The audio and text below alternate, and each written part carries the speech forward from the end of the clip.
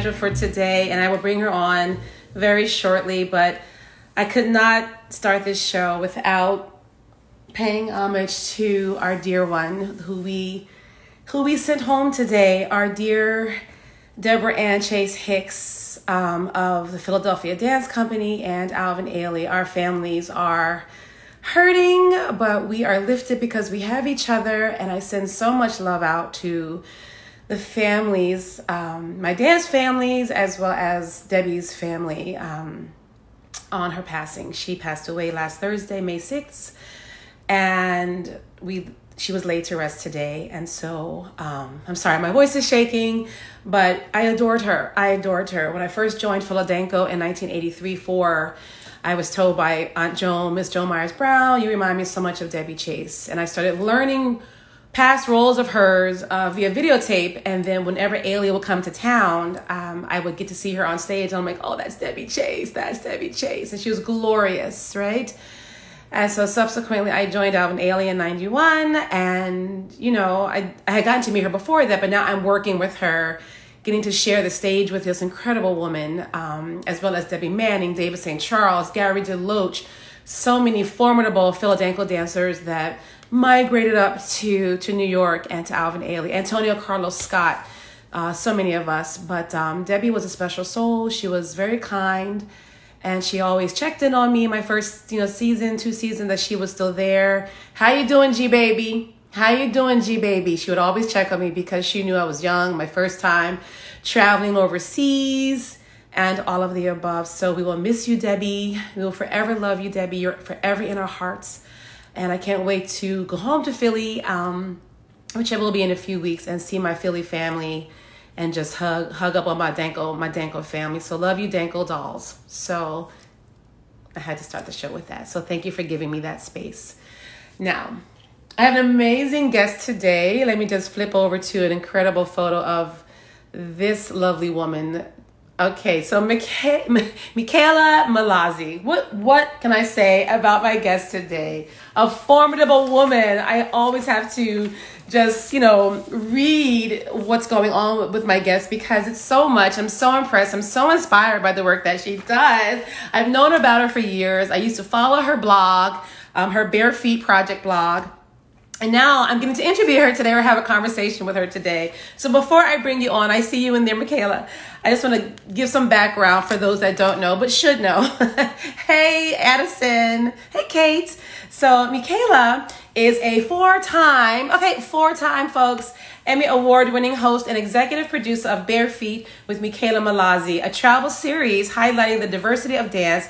It airs on PBS stations nationwide and on Amazon Prime globally. Okay, come on, kids.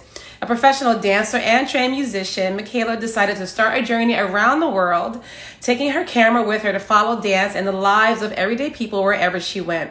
From rediscovering her own family's heritage in southern Italy to dancing tango on the main stage in Buenos Aires, um, to you know all of all across the world. The series covers her adventures as she experiences the world one dance at a time. She's been featured in the New York Times, Oprah Magazine, Forbes, Dance Magazine, Condé Nast Traveler, of course, and she's appeared on many TV shows, including Sesame Street, which I really want to hear about because I love me some Sesame Street. Hey, Kazembe, and and Dr. Oz. Okay, she started the Bare Feet Project in two, 2010, um, eventually bringing it to television. Um, I believe four years ago, but she can correct me when she comes on, and she's beginning her fifth season.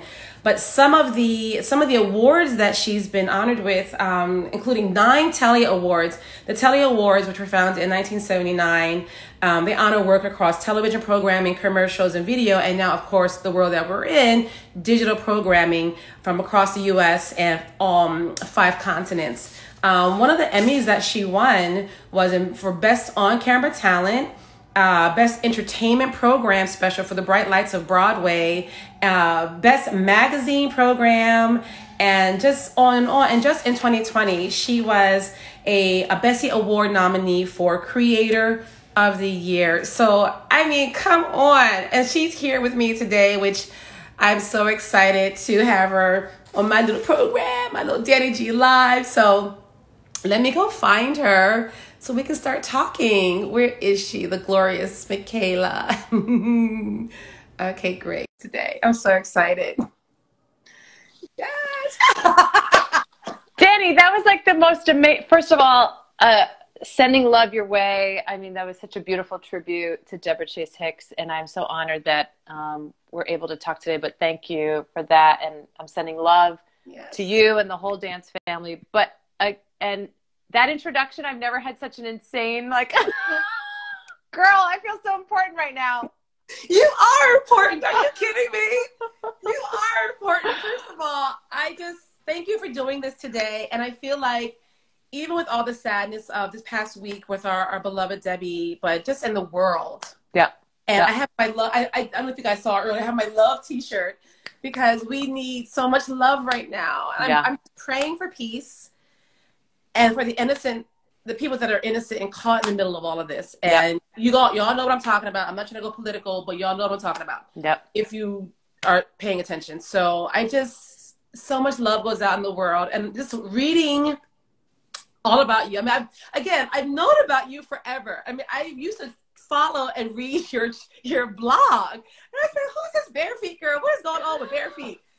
And then you morphed into you know doing it on television and just so inspiring because your two passions are absolutely my two passions which is dance and travel and if you ask anybody that i've danced with or even sung with across the years they will tell you my camera is never far from my hands when i was dancing with Ailey, i used to have this big minolta camera and yeah.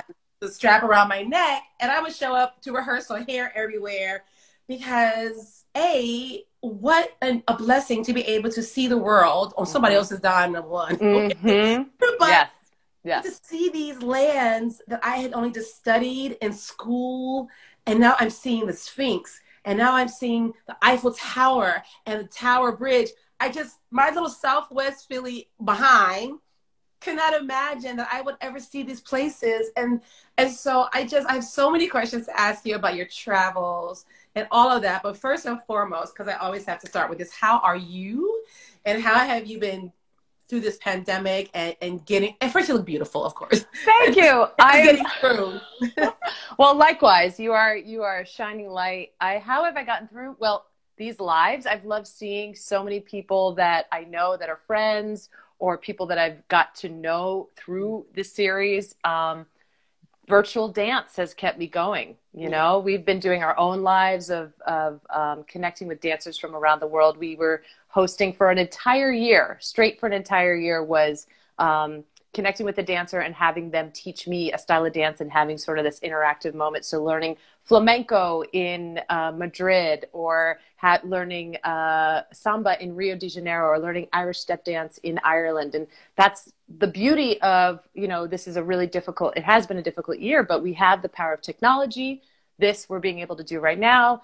Uh, Michael, oh my gosh, Michael, I've been Michael taking, Thomas. Michael, I've been taking Michael's classes every single week. That has also gotten me through the pandemic. Yeah. Um, I'm like dancing again every Monday and Wednesday. I take his class. I actually had to miss his class uh, this week because I had a little bit of a minor surgery. Everything's cool, everything's great, but um, on the mend. So, Michael, hopefully I'll be back next week. But he has kept me sane.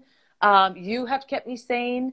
And um, it's just been a, a, a wonderful way to rethink what staying connected means, right? Yeah. Because when we can't touch each other or dance with each other physically, there is still such a, a powerful way of staying connected using technology and using social media for, for a positive impact versus just the likes or the photos. You know we can use this to stay connected with the world and and keep other people positive too. We found that the response from our viewership and the, our fans our people came to our weekly session every single week mm-hmm whether they were moving a little bit, if they were sitting down, they could oh, maybe, you know, if some people are sedentary and just half an hour once a week, they're, they're moving, they're feeling like they're not alone. And I think yeah. that was really important for, for what we did. So that was how, I mean, we're still in COVID. Things have shifted tremendously. There's a different energy in the air. The vaccines have rolled out. The CDC is making new um, claims as well. You know, tr- I think we're all trying to process what that means. I think we're still in shell shock. I'm nervous. I'm still Same. a little nervous. Same. I mean, look, I, I, I think we all have a little bit of PTSD from this experience. Um, so to be all of a sudden like, no masks necessary, I don't know if that's what I, I don't feel 100% comfortable with that. But it's good news in the sense yeah. that there is, um, we're looking forward and we're looking ahead into, look, we're never going to go back to the way things were ever, mentally, physically but mm-hmm. to move forward from this and to to to keep going. But mm-hmm. um, how I'm doing today, I am phenomenal because number one, I get to see you. number two, we are working on a new season of Bare Feet. We're working on season five, and it's back in New York City. And when I tell you, girl, I have been, I'm pre-producing everything like back-to-back calls for the past since Monday. The most amazing segments. I know you and I are working on doing something together, but the most amazing stories that we are going to be telling. And what I love about the dance community and the arts community in the world, but especially New York City, is I pick up the phone and I have someone in mind and I talk to them and they say, Hey, you're doing an episode on this. Have you talked to this, this, this, this? And it's like four other amazing stories. So it's been this like growing, beautiful family web that just keeps yes. expanding. And it has been so invigorating, so I'm like on, on cloud nine right now because Good. I'm excited. We start filming in June, so it's really soon. yeah. But I feel great. I feel fabulous. I feel That's fabulous. amazing. And you again, you're so inspiring. Again, I really want to go through your journey with with bare feet because I mean, I know you have people behind the scenes helping you, maybe not a ton, but it feels like it was a very DIY, me, myself, and I project. It still is. Oh, I pick right? up the phone and call everybody. I don't have an assistant calling. I'm I'm doing all the calls. But yes, there are people that definitely support me. Yeah, for sure. Yeah, that's what's inspiring to me, and as a lot of you know, you know as well. Um, you know, I started this from my. I'm in my living room now, all manner of light fixtures because you know one will blow out. And I'm like, I'm okay with that for now. I mean, it's raw, it's DIY, all good. Beautiful. I started it because of our community, like mm-hmm. people. Mm-hmm losing jobs, losing money, losing lives. And, you know, I realize I have a platform. I realize I have a lot of followers and all of that. But like you just said, it's not worth anything if all you're doing is getting on, you know, duck lipping. And that's cool too. That's cool too. I'm not, duck lipping. I like that. I don't, I don't want to get any, any, you know, messages about, but I know my purpose. I'm in my purpose. And I feel like my purpose is to support the arts, support artists, bring it mainstream because as we know in this country the arts still get the short end of the stick and it's frustrating and even especially dance and mm-hmm. dance is mm-hmm. always an afterthought mm-hmm. you know mm-hmm. even though dance you can't do anything without dance anymore you can't go to a concert you can't look at a music video you can't look at a commercial you can't even look at an ad for jewelry without seeing dancers so how is dance yep. always like the stepchild or low on the totem pole yep. y'all are crazy get over it we need to we need to get dance up, up here. Okay, yeah. Just, yeah. that's my, my statement for the day. I love it. I love it. Well, see, what I love too is not only are you, are you an advocate for dance and the arts, is you are an artist. Mm-hmm. You know, and that's really rare to find in the position that you're in. A lot of people that are in arts management or work in the arts sometimes aspire or just appreciate it, which we love. We love when people appreciate the arts, but you live it. You understand it. You know the hustle. You understand the the work ethic and the, also like the passion that goes behind it and how much drive and the years and training. Like Ooh.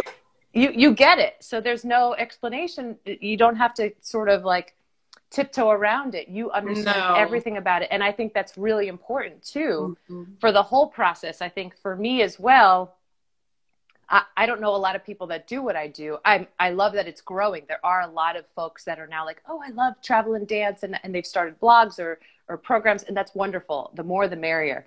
Um, but as people who are performers or dancers or musicians or artists, you understand the amount of work and passion and training that goes into when I meet the people that are sharing these things that are so important to them. It's precious to them and it's precious for me to learn that from them. Right. and i think that's a big difference is if, if i was just a regular tv host and just like oh cool. This is great. This is awesome. It's really understanding the whole backstory and the layers of that and I, mm-hmm. I, that's what i hope to bring to the show that's what i hope to bring to audiences that they understand that this mm-hmm. is something really important not mm-hmm. just because i want to share it but it's really important right. to the people that we're, we're featuring this is really yeah. important to them yeah. You know? And I also love what I love about it too is that I think for a lot of people still they look at dance as this thing that's not for them or it's this thing over there. I, I don't get it. They have I have two left feet. I've never done yeah. But what you do is like like for me, dance is like even the electric slide at you know, my cousin Ralphie's barbecue. That's yes. dance, honey. That's yes. culture. Yes. And what you're doing is dance is culture. Yes. So I love that you're going around the world, whether it's virtual now or once you get back out there, showing people that this is what people just do to gather, mm-hmm. to show each other they love each other. Mm-hmm. Whether it's it's a celebration, people have been dancing since the beginning of time, right? And rituals, yeah. burials, births, weddings. It, dance is culture. Dance is life. I know that sounds corny, but no, one hundred percent, one hundred percent, one hundred percent, one hundred percent. And I I think it's you hit the nail on the head. That's what bare feet is. Is when we meet a lot of these dancers, they may be doctors, lawyers, cab drivers, chefs, and they just happen to be incredible musicians and dancers because that's what you just do. You play that music in the house, you play in the streets, you play during these celebrations, you play during these holidays. So when people say to me, "Oh, I have two left feet. I'm not a dancer," I'm like, "Well, do you like listening to music and are you moving when you're hearing music? You're a dancer. You're dancing. Yeah, you're dancing. You're moving. and and also making dance accessible.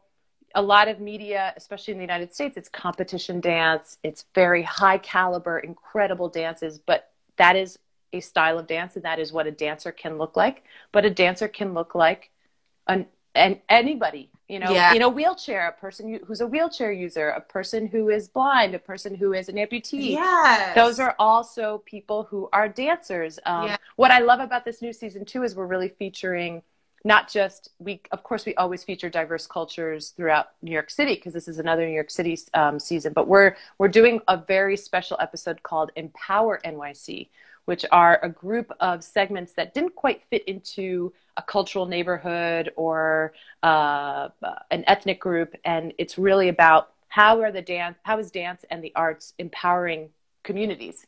Mm-hmm. One of which is accessible dance companies. And, and so, you know, that's really dear to my heart. My sister's a wheelchair user. Um, but we're ho- we're hoping to feature Jerome uh, Jerron Herman. We love him and Kinetic Dance and um, a whole bunch of other groups of dancers. But it's really, we want to break the mold, like you said, of what is a dancer, who is a dancer, right? So that's that's the goal of Bare Feet is everybody should have access to this. What whatever you look like, uh, you know, color of skin, Not religion, shawl, tar, small, short, tall. What, right. I don't know what words I'm trying to say, but you know, it's it's this it's accessibility to movement to expression, yeah. to self-expression, to culture. Yeah. Like you said, this is how we express ourselves. This is a the universal language that humans use to express yeah. themselves. Yes. Yeah. I mean, coming coming through Ailey, always hearing that motto, "Dance came from the people and should always be delivered back to the people." In my 14 seasons now, my God, of Summer Stage, you know, one of the, of course, yes, pre- presenting in Central Park and presenting in all these parks is you know, is is a joy, but what gives me even more joy is when I do the master classes. so actually yesterday, I think it was yesterday, a very good friend of mine who's also a fitness and dance person and teacher, Teresa Lavington, she tagged me in a post where it was a shout out to me. And I, it was i was having such a dark moment yesterday just thinking about all this going on in the world. And she just thanked me for you know i went to her dance class at new york sports club back in 2014 and she was killing it. Yeah. i was like you're great. I can i, I want to talk to you maybe about teaching for one of my open master classes in the community for summer stage and she was like okay but then she in her mind she was like yeah yeah yeah people talk all the time right but I reached out. I found her on Facebook and I was like, hey, girl, do you want to do Marcus Garvey Park? So, whatever. So, she posted that yesterday and it made me a little sad because this year, obviously, is a different year for post, well, we're still in it, but our post season, our first yeah. season post pandemic. Right. And it's going to look really different. And we're not going to be able to go in all the neighborhood parks like we normally would just mm-hmm. because, you know, this is our little budget that we can do. So I won't be able to do those workshops in the communities where any and everybody can get up on the stage, yeah. whether you, you know, danced or not before, and just try it out. And you know, over the years, I've had people get up there from like three years old to like 80 years old, killing it. Yeah. And I'm gonna really miss that. So if you're watching, if you've seen some of those shows, know that I'm gonna be missing that this summer. But, but they will come back. I mean, look, we'll be back. We, look at where we were last year. You and I, we did a, a summer stage anywhere live at from anywhere, right? That was amazing. Yes and that was completely virtual. So the fact that we're now doing live events is a huge step forward. Yeah. So I can only imagine next year and the energy around the arts, live events, getting together. People are excited, but they also realize this is just the first step. I hope right? so. I think I so. I worry about, you know, honestly, I worry about people being disappointed. I mean, because I hate disappointing people, but I just worry that people, I just hope we can as many people can see our shows as possible mm-hmm. and that just know that this is not normal and this is what we can do for now. But I'm so glad you brought up because I did have it in my notes to talk about what we were able to do this summer. Yeah. Out to Mickela and she, you know, said yes. And I paired her with the incredible Milty Tucker Concepcion of Bombazo. she is she is a, a queen. She really yeah. is such a queen. Um, yeah. so that was really fun. Did a an artist talk um, well, for one of my summer stage anywhere programs, which if I'm, I remember, I'll tag into my link tree later. And also, guys, so if you're just joining us, I'm talking to Mickela Mallozzi, and her information is also in my bio. Your link tree is in my link tree, so you can see all the the wonderful work that Mickela does. So, what I want to go back to, because I'm always so fascinated by people's childhoods, um, tell me about little Mickela and how your dance journey started. Yeah, it's so funny if my family basically says like my TV show is what I've been doing since I was a kid, but now I like it's it, I get paid for it. Um, sort of get paid for it. You know, it's public television.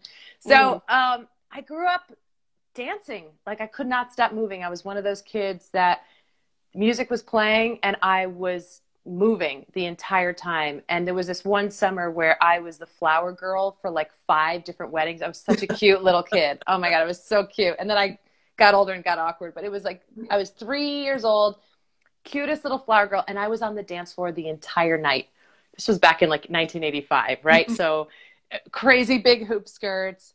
Um, and my fam- they used to call me tutto pepe in Italian, which means all pepper, because I could not stop moving and dancing. And my family, no one in my family was a dancer, no one in my family was a musician, and um, they decided to sign me up for dance classes. And oh wow! I, I, loved it. And then my grandmother, who was is a phenomenal storyteller. You meet her in my um, in my season premiere episode of Minturno, uh, Nonna Pina. You meet her, but she's a wonderful storyteller. So growing up with her, she would always do voices and and kind of take on the roles of these little ogres and all these old superstitious stories. And so I really and she has an inc- incredible memory. And so for her, I got the whole like sort of storytelling idea.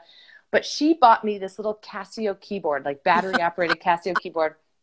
And my sister and I, on Saturday mornings, I'd go into her room and we'd make up these songs and I would yes. just play by ear. And then again, my family was like, oh, she's nobody's showing her how to do this. And she's like playing real songs. So then I started taking piano lessons and eventually, this was back when um, there was public uh, music programs in the schools, and so I was mm. able to mm. take up other instruments. Right. Wait, did, you, did you grow up here? I grew up in Connecticut, in Stamford, Connecticut. Okay. Yeah. So, long story short, danced my whole life, played music, was uh, was writing music, um, and when it came to university, time to go to school, I decided to go to NYU for music composition. I loved dance, but I was not shaped like a dancer. Uh, I oh. was I was just a bigger girl, like it dance wise. You know, I was stockier.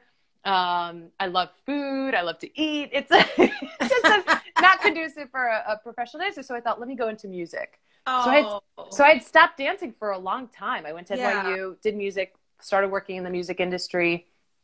Um, I thought I wanted to be a big time music manager. I thought that was like that's my goal. Yeah. Um, and eventually got a job working in management. Loved every minute of it, um, the business side of it, and uh, just loved like working in every aspect of the industry, except for the babysitting side. You know, that's a big part of management. Is yes, it is making sure that your clients, not just business wise, but like personally, everything is sorted. Yeah. You know, so that was a big eye opener. I quit, mm. like cold turkey quit, and was like, I can't do this. This is not not meant for me. But I learned so much from that job. And at that moment, I had decided to go to Crunch Gym, and I saw this class with this amazing Indian woman named Sarina Jain. Okay. And she looked, she had this long black hair, looked like a witch, was like dancing around the room. Like, and she was doing this workout that she created called Masala Bhangra. It was like an oh, Indian word. dance. Yeah. And it was uh, Indian uh, traditional dance mixed with Bollywood. And I was like, I want to do that. And so I started taking her class.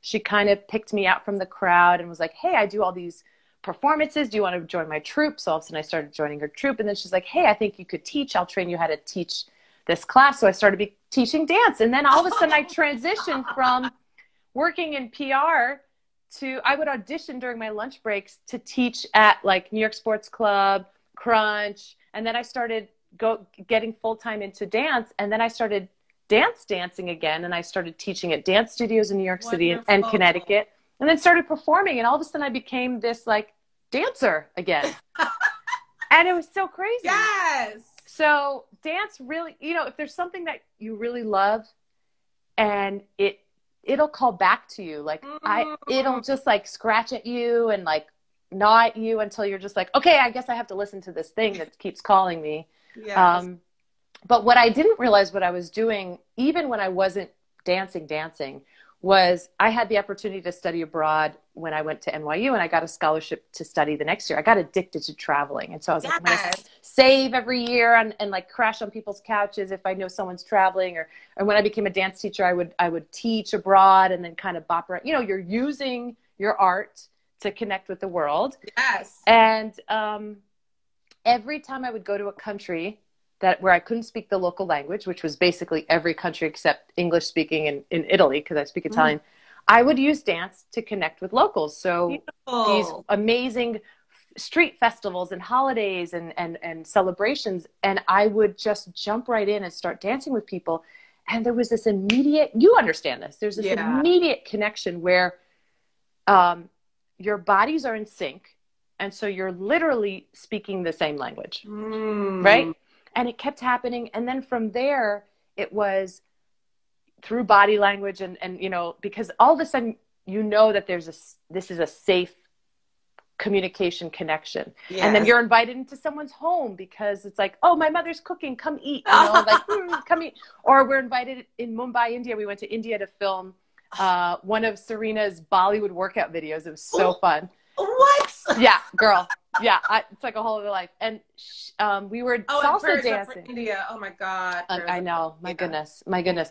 But Sarina, we were salsa dancing, so we were dancing, and then all of a sudden we're invited to a Bollywood uh, wedding the next day oh because we're dancing. So I kept realizing it's not just about the dance; it's these immediate friendships yeah. that come from the dances, and it kept happening over and over again. And there's something really special about this and I literally woke myself up in the middle of the night one night and was like, I'm going to make a TV show. That's how it happened. I woke myself up, saw like a projection out of my eyeballs of what bare feet looks like now and i was like i'm gonna dress up i'm gonna dance i'm gonna learn all the dances i can and i had no tv background no production background had no idea what i was doing. Oh my god. And 11 years later here we are today. Here we are. It just magically worked out. No. It was a lot of work but it was it's um yeah that's really the story. That's really how how it happened. That's incredible. And just i mean even for myself having again the, the, the privilege of traveling as an artist um, and you know occasionally we would get other cultural groups that would invite us hey anthony burrell i gotta get you on boo. Um, they would invite us into their world. Yeah. And again it's it's all culture it's food it's dance it's music and maybe you're not verbalizing because you're like like, this is good. This is good. Let's move. You know, like your and then you choreography, know? you could speak. Yeah, that really shouldn't be a barrier. That really should not be a barrier ever. You know, just because you can't speak the same language, but you really do. I, you speak the language of human, right? Yeah. And that's what I love about your show, especially in this world today where I'll just say it, we're so divided. Yeah. And I, I just, I, I encourage you. I know you will, to keep going but I feel like there's this whole thing of othering. And what you do is that you really bring the humanity of the world into one place. And like, we're just all people. We're all humans. Thank you. You Thank might you. speak different language. You might eat different foods. And actually, their foods usually are better because I love, you know, different foods. Yeah. But that's all it is. And we yeah. shouldn't have this fear of other cultures and other people just because they don't look like us or dress like us mm-hmm. or it's ridiculous. So yeah. I just what you do is what you're doing and have been doing is so crucial and important. Thank you. For the landscape, it really, really is. But I want to go back to something you said, which really struck me um, when you thought that you didn't have a dancer body. And was it something that you projected or was it something you were told because you know i'm all about i think both positivity right i think both and and you know what when i look back i'm like oh my god you were in such great shape like what was wrong with you right and yeah. I, I think that's so many things. That's so right. many things. That's being in a, a ballet studio and working on and and I, I wasn't the best on point so i wasn't going to be a professional ballerina mm-hmm. but just dance in general and i think there is a certain standard um, and or there there there is a certain standard for a certain type of dancer.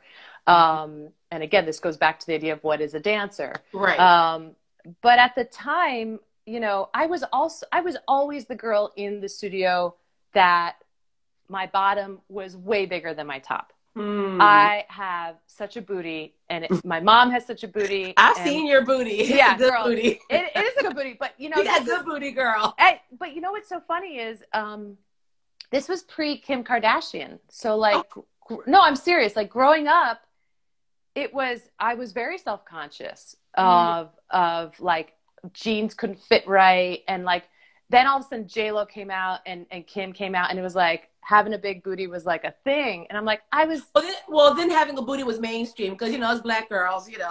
Right, right. No, but that's what I'm saying. Like mainstream of in it, because there's a standard, a, a set standard by this like stick thin, blonde hair, blue eyed, busty, which I don't fit any of that. And when I was pitching my show, because I worked in the music industry before, you know, when I was um, leading up to this moment. And I had friends who worked in TV. And when I told them about this idea, they're like, oh, I have a friend who's a producer. You should pitch to them. They would always say, you don't fit the bill, Mickela. You're not blonde hair, blue eyed, tall, skinny. You, you just won't be the host. We're going to hire a model. Oh We're going to hire. Yeah. Oh, yeah.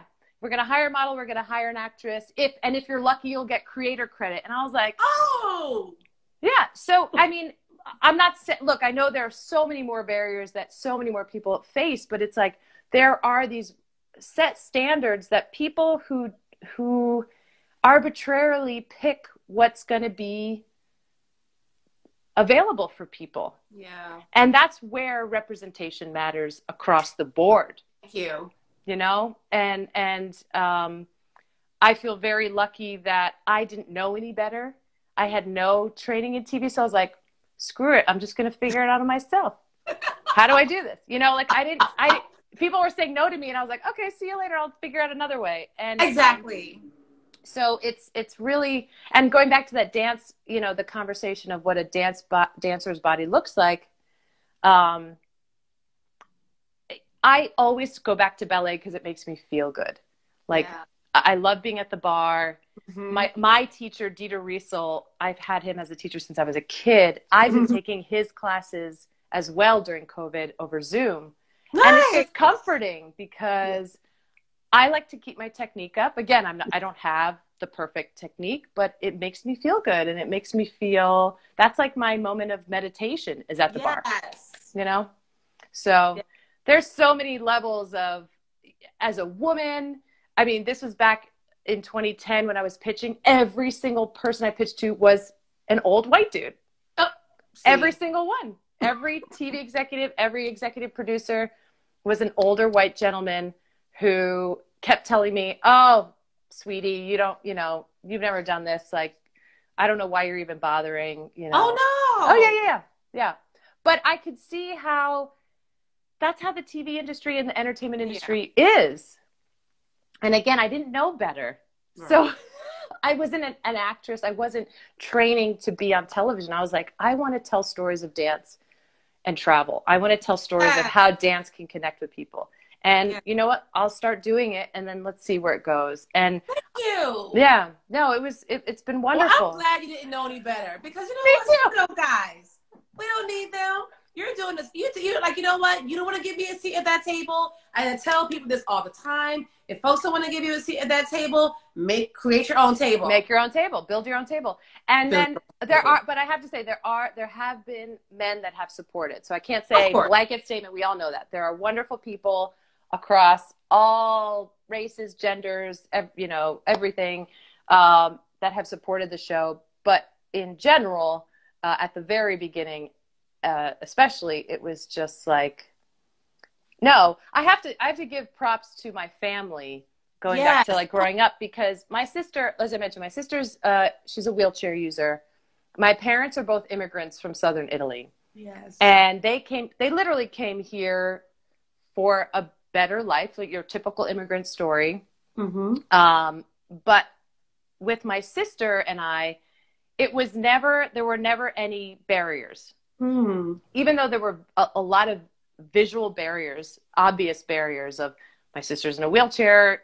There are there are steps here. How is she going to, you know? Mm. So my parents never said a never wanted us to feel sorry for ourselves, mm. and number two was you could do anything not out of entitlement, but figure it out. Right. Everybody, can, you can figure it out.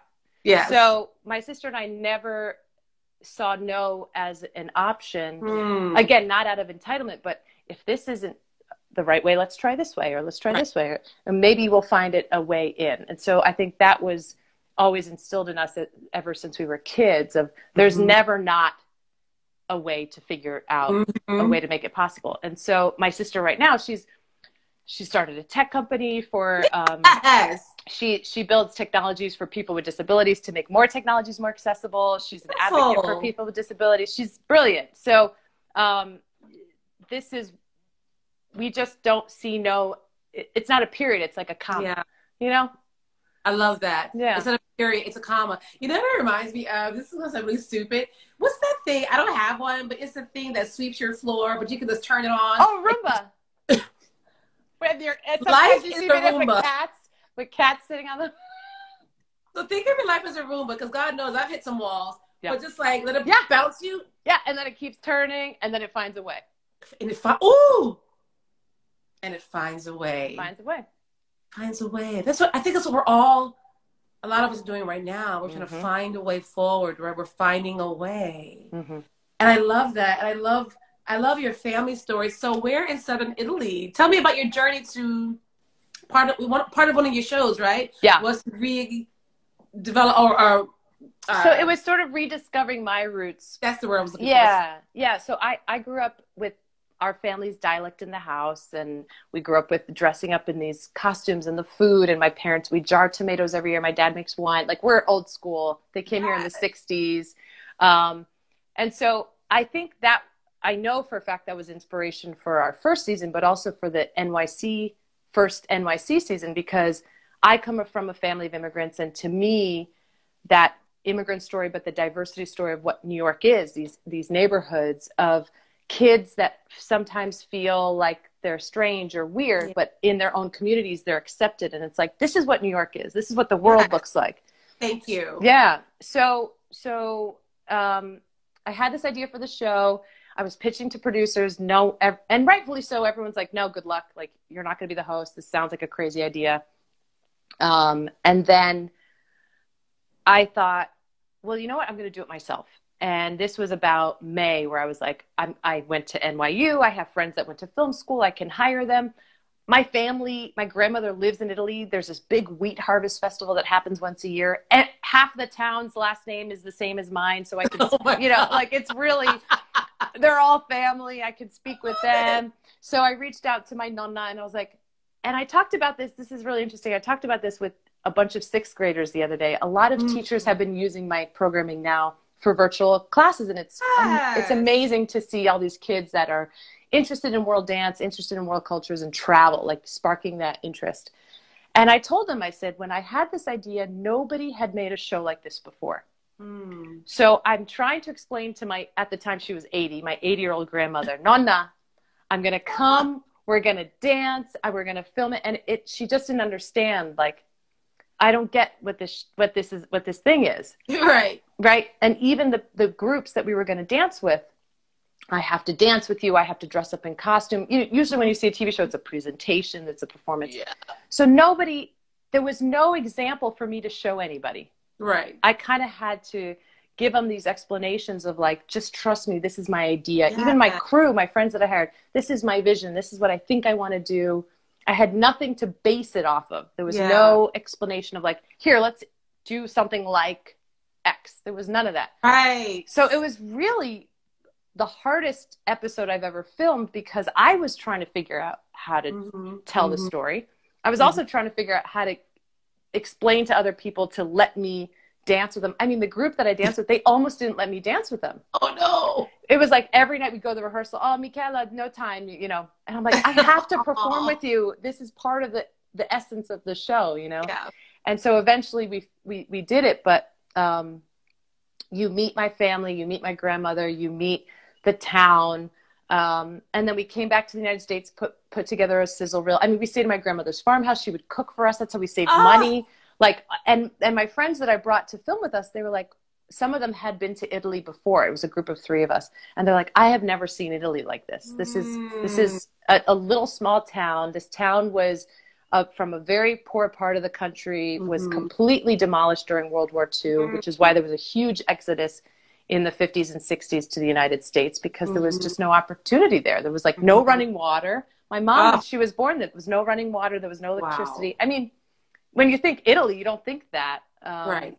So, so this is where we were, but it was this beautiful. We're on the Mediterranean. There's we call it Mare Monte. There's there's um, uh, the mountains, and it leads right into this bay into the Mediterranean. It's mm. gorgeous. Mm. It's gorgeous. Mm. So it was like let's let's do it. Let's let's have me rediscover my roots, and then I'll take this idea and take it around the world. And it took yes. me six years, six no four years to get that first episode on air locally on NYC. No. I was still a full time dance teacher. I was, right. yeah, it's a process. It's so, a pro- and then it took two more years to get our an official first season on PBS nationally. So, wow. patience. You need patience. You need a, you know, you need, you like you you dug into your savings to make it happen. Oh yeah, girl. Well, this is a, the worst part is I dug into my savings, spent the money because paid for the airfare, paid my friends, I wow. paid them, did everything, and and that's why we stayed at the at my grandmother's home because mm-hmm. we would mm-hmm. save on on flights. Michael, thank you so much. Oh my god, I, I know, so right? So inspiring. I'm like, but this is the craziest story. Okay, so imagine this is this is 2010. This is just the beginning of bare feet. It hasn't even like come really to fruition come back to the United States. My my director of photography, the woman who I started working with, she became sort of my guiding light because I didn't know what I was doing. So I would learn watching the directors, the people that I would work with. When I eventually hired an editor, I would watch what they were doing so I could learn this is how you tell a good transition from the, mm-hmm. this one to, you know, so I was really trying to, to immerse myself in every aspect of the business. And so it was like, okay, in order to get, I wanted to be on Travel Channel. This was back when Travel Channel actually aired travel shows. oh, and my good friend Kurt, Kurt with Corey Corey's on here. He's also another traveler. He's a wheelchair user, incredible traveler. I love travel shows. Oh my God. Travel shows are great. But at the time, Travel Channel actually aired travel. So we thought, let's present, um, let's try and pitch this to Travel Channel. Mm-hmm. And I found a third party production called No Regrets Entertainment, which should have been a big red flag. Oh. Um, and it was these two guys, and they're like, "Oh, we have a great, great, um, tra- we have a, a great relationship with Travel Channel. Give us your footage, sign a year's exclusive shopping agreement with us, and mm. we'll pitch it." I didn't know better. I was like, "Cool, they have Travel Channel. Great, great, great." Right. Two weeks later, two weeks later, we find out that Travel Channel signed an identical show called Dance Around the World. No. Yes. No. Gorgeous host. She was a former uh, competitive ballroom dancer. God. And so this is two weeks after I signed a year's agreement oh, with no. no. Regrets. So I go to, the, I'm in tears because I just spent my savings on filming this. Oh. And I'm like, Travel Channel already has a show. So I say to them, okay, who can we pitch to now? Yeah. Oh, nobody. This was our shot. Like, it's done. It's done. And I said, well, can I have my footage back? And they're like, yeah, for thirty thousand dollars. No. And oh they didn't pay me a dime for anything. They didn't pay me a dime for anything. Thirty thousand dollars, or you wait your year's contract to expire. Oh my god. And Danni, I, when I talk about this moment, and I've, I've talked about this before in other interviews, I do not know why I kept going with this project because yeah. in like normal life you'd be like okay i think this means i should move on and just move on with my life because there's another show. I don't have the money. I have to wait a year. Like oh i don't know what happened but i was like my friend okay. monique says i'm ready to fight somebody. Yes! i know. Take those, take those earrings out. I was I was so I was I lost everything because oh. I so so I thought, you know what? I'll wait the year. Mm. And I'm not doing this to be on TV. I'm doing this to share stories about dance and music. Yeah. So, uh, Karitha's on here too. Hey, Karitha. uh, we, so what I did was every, I lived in the East Village at the time. Every single day or evening, I would go out and either see a performance, take a dance class, see live music, and I wrote about it in the blog. Right. And that year was how I learned how to tell stories mm. of what I was feeling, of what was mm-hmm. happening, of how important these dances were. So that year was so valuable to me that mm-hmm. I, I, in mm-hmm. retrospect, I needed that year to to build my craft of like how yeah. to tell stories eventually I got the footage back. Eventually I started, I hired, because I knew I couldn't edit. I wasn't going to figure out how to edit, but I hired an editor. Again, I'm a full, full-time dance teacher. Like every dime that didn't go to rent went to bare feet and oh, um, started making little YouTube videos and it just kind of evolved from there. But eh, that moment of learning how to tell stories out of necessity. Mm-hmm. So mm-hmm. by writing every day. I mean, like now, I'm sure you feel this when you do a live now. How different do you feel from your first live that you did in your interview? Oh my God. So right? Different. Right? You're building that craft, you're building that muscle that, yeah. that, that, as an interviewer, as a, as a live speaker, I've done the same thing, but it's, it's, you just have to do it. You just so, have to you just have to do it. And like dance. You don't yeah. all of a sudden have perfect turnout or, or extensions up to here. Every day you have to do a little little more.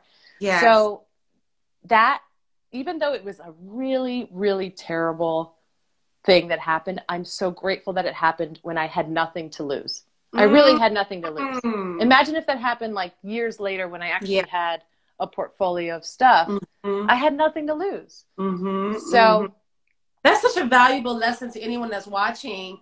And again, if you are watching, you're here today. Thank you so much for tuning in. This is Mickela Mallozzi of Bare Feet with with uh, Mickela. And what that's such an incredible lesson. And have you in your in your studies or travels share? I'm sure you've shared this story with kids that are coming up in Always. the game. Always. Kids need to hear these stories. Always. What to I'm- watch out for, Yes. I'm, contracts. I'm always very transparent about this stuff because I people always say that I'll get messages like, "Oh, how did you get this job?" or or how, you know, when did you audition for this job or how can I do what you're doing or can I I get a lot of messages like, "Can I be your co-host?" and I'm like, "No, you cannot be my co-host." Sorry. I mean, put in the work then put in put in the work and then maybe but but really it's and I think it's sweet. I'm like, oh bless their heart, you know, like not not happening. Aw. Yeah. No. But yeah, thank you, thank you. Um, I got to make a meme of you going no, and then just send it to them. But No, it's, but it's yeah. really um, I want to be transparent that like Amy Schumer says this. She's like, I'm a I'm a seven year overnight success or an eleven year overnight success, and that's true. It's like you have to hustle, you have to work, you have to put in the work. There are a lot of tears. There are so many times. You can ask my husband. There's so many times where I have wanted to give up. There are so many mm-hmm. times that I thought, "What am I doing with my life?" You know, like this. This isn't. This isn't working. And Yeah. and and especially in public television, you see one thing. You see, it's the iceberg effect, right? You see like the ten percent, all the good stuff. We post all the Mhm. good stuff on social media. You see all the good stuff on TV, but you don't see the 90% of fundraising, right. pitching, trying to find a team, trying to secure uh, a station, or all these things of like logistics. Mm. And it's really funding. Like with public television, we have to find all the money ourselves. But Mm. um, but it's the messages that I get from like the teachers and the kids and and and people stopping me on the street where I'm just like, and it's not like, oh hey, that's cool, it's fun. It's like tears of yeah. I watch this with my children. I watch this with my grandkids. I watch this show with my grandma. I watch, and I'm like, this is a cross generational conversation, and I'm part of this family now. You know, they feel Mhm. connected to me, and I don't want to stop that. I feel very connected to them, and so Mhm. there's it's it's it's it's a it's a passion project. You know, like Mhm. you if you are pursuing something. I can't imagine myself doing anything else in my life Oh, I love that. and and i i can't so like sometimes it's to my detriment for the people around me yeah. right. mainly my husband the poor thing i love but you know it's like you but he's an artist he's a musician he gets it he's very He very driven too but it's um, you know, we, there are pros and cons, right, when you're dating someone in the business. But even like myself, you know, yeah as a as a I- performer a dancer you're yeah, yeah it helps when they get it. I mean, you know, my guy, you know, he works in audio and sound, and even with the festival, and sometimes he's gone for like 18 hours. I mean, these are crazy hours that we Yeah. keep, or you know, the drop of a hat. There might be a gig that's coming up, or I gotta go. It's just so it, Yeah. it does help for sure to have someone that's in the same realm Yeah. of what you're doing. yeah And so I also wanted to go back to, you know, so do you get to like play piano, your musicianship? Do you get to get that out? some i mean i've noticed that i i love play, i loved playing piano i wasn't the best pianist either um, i was always like good enough at things that it was like kind of impressive kind of like on the show like i just get it enough and move on before you realize that i'm not really that good at, at doing it. But what i love is i'm really i'm very um i love percussive dancing and i love percussive instruments. Mhm. and natural like i love if i could have I, I do have my dream job let me just say that. But if i had to live another life i would be a professional tambourine player in a band. I, no joke. Yeah doing like Get the it. whole davy jones kind of you know. Right. like i love tambourine. I love love it um so i love percussion so what i love about my show is somehow i and i know why because i have a, a tv crew with me but i get to convince people to let me try crazy stuff that they would normally not let any random stranger just jump Yeah. in on yeah. And I and I again I have enough vocabulary in dance and music that I can grasp it enough that they don't feel uncomfortable and awkward, Mhm. and that they're just enough uh, impressed that everyone's having a good time. Exactly. You know, it's like just Yeah. enough. But I have the time of my life, and I'm like, I want to try that instrument. I want to try that. I want to try that. It's usually a percussive Yeah. because it with intonation, it's really hard. Yeah. Um, And it but, shows. I mean, the way you come across the camera is so joyous, and you look like you're having a ball. So I implore you guys watching, if you haven't seen the show yet, again, you can find the link in my link tree bio to Mickela's show, your YouTube channel, where this past episodes, upcoming episodes, all of that. Um, and everything's on the PBS app. We want our shows to be free. We want them to be accessible. Yeah. It's public television. So if you go to pbs.org or the PBS app, it's all free. Everything is oh, free. Thanks for saying that. Yeah. yeah. yeah. And so again, world traveler. I mean, I've been many places, but there's still obviously many more I want to visit. But is there somewhere that you haven't been yet that you're that you're looking forward to going to? So many, so many places. I mean, I, I'm a repeater. I love a repeat offender. I love going back to places where I mm-hmm. find a real connection. And a lot of places I do find a connection, but it's like Buenos Aires. I've been three times. Love Tango, you just get yeah. addicted to. It's just beautiful. Yeah. You know, Ireland, I've been to seven times. Mm. Uh, Uzbekistan, I've been to twice. All these places wow. is if I when I say I make new friends by dancing with strangers, I really make new friends by dancing with strangers. So I have this community and I want to go back and learn more. So there are so many places I have not been. Um, mm-hmm. But I would say like top three maybe would be I want to dance with the Maori people in New Zealand. I think that would be mm-hmm. life changing. Life changing. Yeah. Um, and all these places we were planning on going to um, until COVID hit, and so things have shifted, obviously. But we will get to them eventually. Yeah. Um, Tanzania, a dear friend of mine, her name is Justa Lujwangana. She has an incredible organization called um, Curious on Tanzania. She is a Tanzanian high-end princess in her village. She's a phenomenal dancer, and I feel like we're gonna do we're gonna have to do at least two episodes in Tanzania because she's like every village has their own dances wow. and they're all really different so that is on the top of the list. And then um, if we could do like Carnival in Rio. Oh, Ooh, girl. Yes. Oh my I'm God. not good at, at samba though. Samba is really hard. it is. it is not easy. But those are, and there's so many. There's like, you know, uh, there's so many that I want. I want to go to Colombia and do salsa there, and um, do uh, we were planning on going to Canada to to dance with the First Nations and and indigenous mm-hmm. people and oh. so much stuff so much stuff and when it's funny people always say to me aren't you going to run out of places to go to and it's like no nobody ever says that about food shows there's okay thank you yeah right. it reminds me um are you watching and I adore him Stanley Tucci oh oh Wait, wait. I have to. This is a moment that I'm so incredibly proud of. I have to do a little self plug. So yes. I fell in love with, and this was not planned, everybody. It just happened to be here because my friend said this to me. Stanley Tucci's Searching for Italy on CNN is my new favorite travel show. Oh my God, I love that show. It's gorgeous. Yeah. He's so soothing. His vo- it's so calming and soothing. And he's sexy. Yes. I, I yes. say it. He is, but it's it's not that shock value. He's just like comforting, and it's what we need right now. Is like someone where you feel safe, you feel like I don't. He is very sexy, but it's like, and Italy is sexy. It's this oh, gorgeous, yeah. warm, yeah. sun-kissed, beautiful place. So uh, this is March.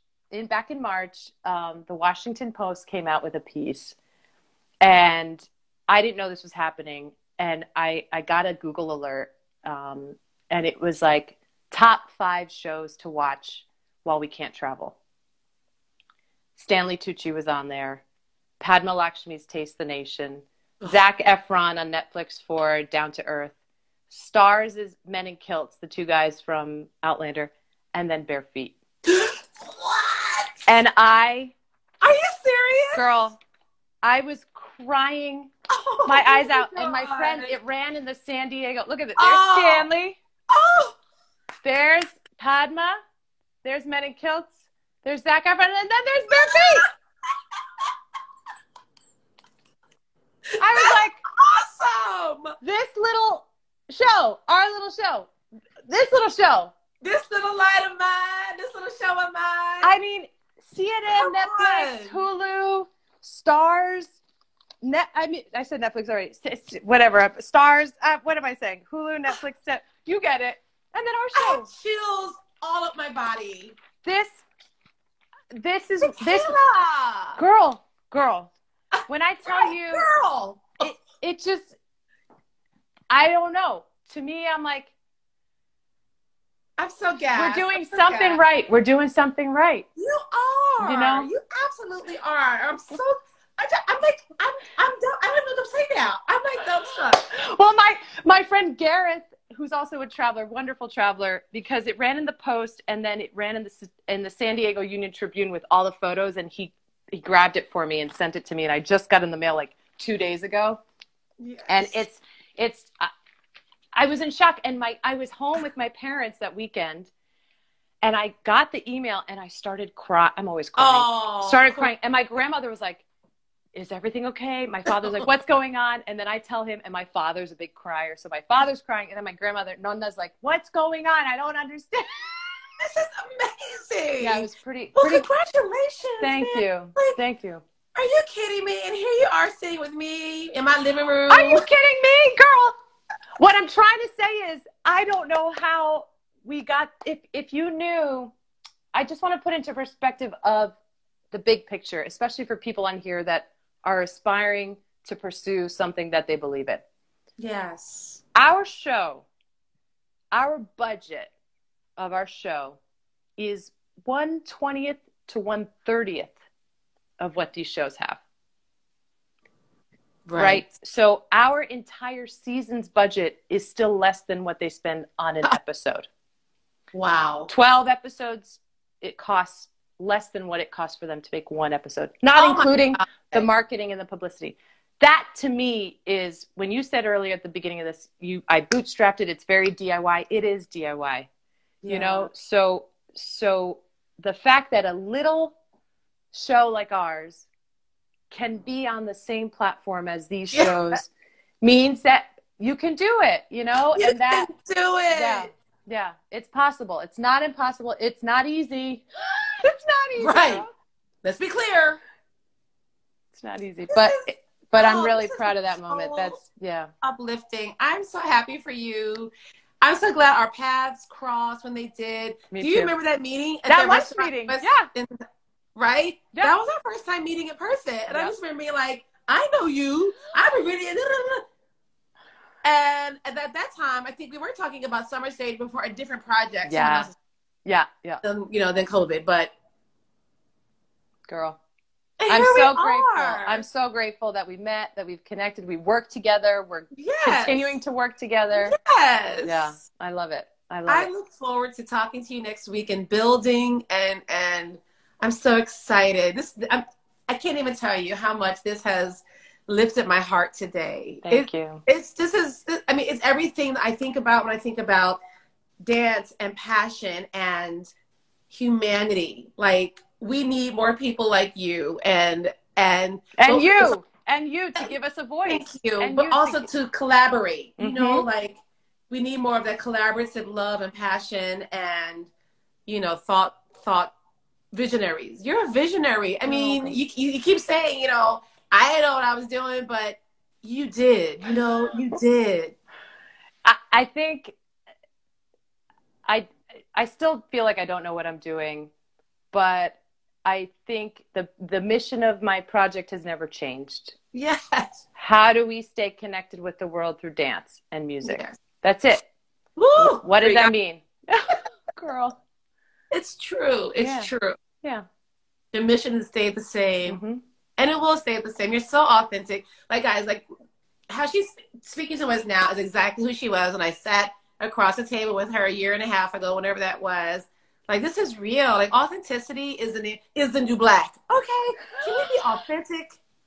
Yeah. Authenticity is the new black. So stop stop the madness. What this Mhm. year this year hasn't taught us anything is that we need to hold our loved ones closer than ever Yep. and just be see my little light went out, but but whatever.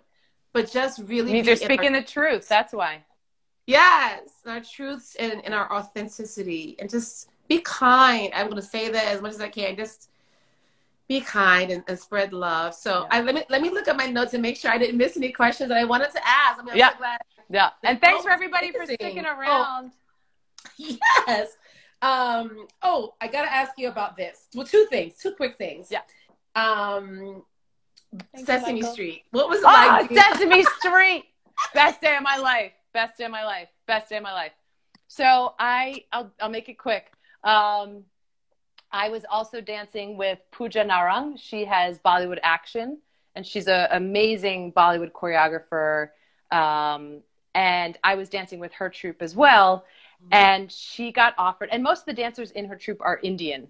And a lot of them are like Indian transplants. So they grew up in India and then they ended up moving to the States mm-hmm. and they had jobs here. So they didn't grow up in America, but they, mm-hmm. they, you know, they were dancing and they wanted to stay mm-hmm. connected with their Indian culture through these classes.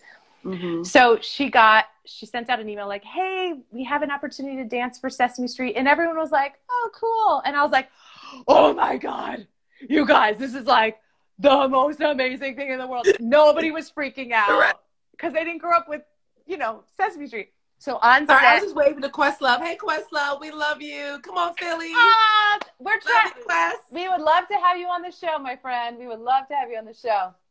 Um, so Sesame Street, like we, no one's freaking out.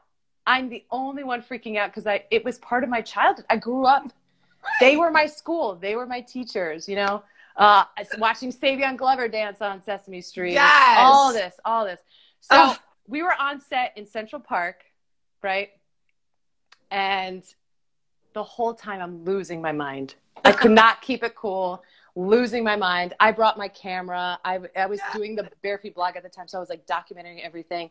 And everyone was just hanging out by the trailer, like, no, they didn't care at all. And I was like a kid watching these Muppets and just having the best day of my life. I'll never forget the entire day. I remember every single moment of that day. Yes. And then when it came out, what was even more amazing was my friends' kids watching me dance with the Muppets, and I was just like, "This is like a full circle moment," you know. So awesome! Was Big Bird there? Big Bird was the the actor who was Big Bird was actually directing the segment. So oh, okay. it was Muppets that I they were newer Muppets. Okay. So it was like Ovejita and Murray the Monster. So it wasn't Muppets the that new kids on the block. Yeah, yeah, yeah.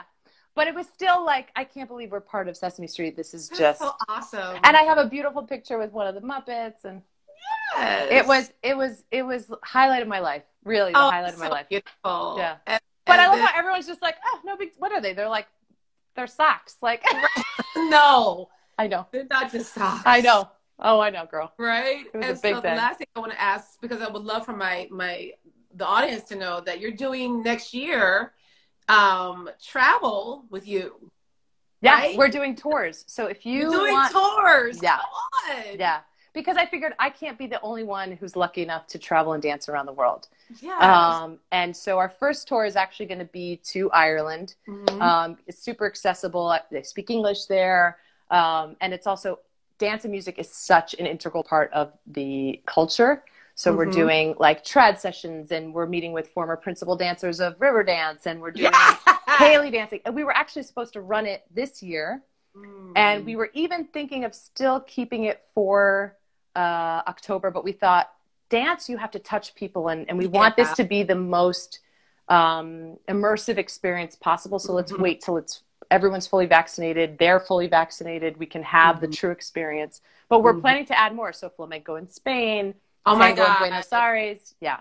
Yeah, girl. I'm gonna sign up. I can't. I can't wait to get back out in the world. Same. And so, for people that relate tuning in, tell us about the upcoming season. Yeah. When it'll air, how we can watch, yeah. all of it. So the new season, we're, we're, we start filming in June, and it is going back to our Bare Feet in NYC season. So traveling the world within the five boroughs of New York City, in every destination, uh, and all these neighborhoods. I'll be dancing with New Yorkers, and really, yeah. it's like traveling the world using your your Metro card instead of a passport. um, so we're filming from June through early September. So if you see mm-hmm. us filming on the street, come and say hello. Yes. We'd love to see you. And this will start airing in New York on NYC Life starting in the fall, and then it'll start airing nationally on PBS later in the spring in 2022. But that's awesome. It's 12 episodes. We're going anywhere from Little Caribbean to Little Sri Lanka out in Staten Island to uh, we're doing a whole Broadway revival episode. Um, nice. Um, yeah, we're doing so many wonderful things. Our Empower NYC episode. Um, uh, we're going out to Flushing, Queens to feature the Taiwanese, Chinese, and Korean community. Uh, 12 amazing episodes. I, and like I said, today and all week I've been calling all these wonderful people that we're going to be dancing with. And I'm So pumped. And by the way, uh, if Questlove's still on here, we are doing a whole hip hop episode. I would love for you to be on the episode. Maybe we'll get you on. I would love, love, love. That's awesome. And anyone on here, if you have any ideas, and Danni too. And Danni's going to be on our episode.